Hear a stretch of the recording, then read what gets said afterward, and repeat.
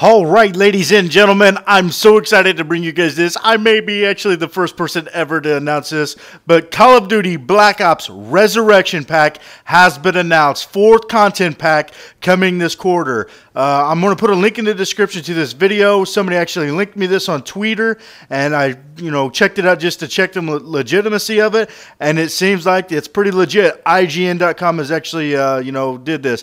What you're looking at on the screen is actually just a screenshot. It's the only screenshot I could find, but I'm going to read what it says on this link. But you guys can go check it out, and you know, whatever. If you guys want to go check it out, see if how legit this actually is. Um, it's pretty legit. IGN.com, guys. But what it says: a fourth co- fourth content pack dubbed Resurrection for Call of Duty Black Ops is slated for the release this year. Activision has confirmed. As part of its earnings release today, the publisher said Sorry, my mouth is watering. I got this. I got pepperoni pizza for Papa John's. It just got here, sitting right here, and I smell it. It's making my fat ass hungry. And like, oh my god! But listen, I had to do this first. As part of its earnings released today, the publisher said this new content pack is coming on August 23rd, first to Xbox 360, and then later to PlayStation 3 and PC. The Resurrection content pack includes the all new Moon level. I actually have heard somebody say that the next map was going to be on Moon. Whoever it was, props to you. You was correct.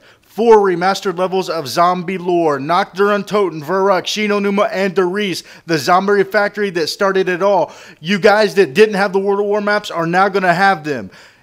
Oh my God, Jizz right there. I'm slurking right now. Can you guys hear that? Oh yeah. An enhanced zombie soundtrack including three tracks never before available for purchase. Not sure what that means. Maybe new in-game, uh, you know, soundtracks where you got to, you know, like the uh, Lena Simmons, whatever. But then it says a new Zombies Moon theme, where I'm guessing it's like a dashboard type deal, uh, you know, where you see the zombies in the background and all that. Uh, this is a strictly only zombie DLC, guys. Everything. You get the World at War maps on Black Ops, finally, for those that did not buy the Hardened or Prestige Edition. This is what it says final at the end of it. For our friends who purchased the Black Ops Hardened or Prestige Editions that already own the four remastered maps, the other contents and Resurrection Pack will be included at no cost, including Moon, the soundtrack, and the theme, Activision said. If you did not purchase Black Ops Hardened or Prestige Editions, my mouth is still watering.